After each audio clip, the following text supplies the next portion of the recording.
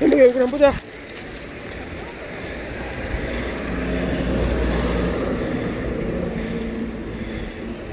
아이고 힘들었어요.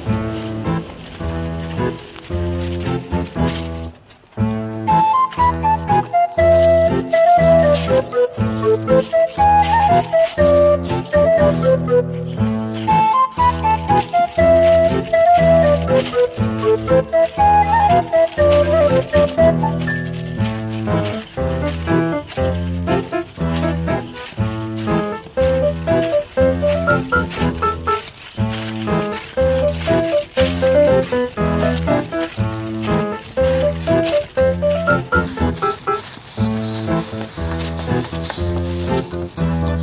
you.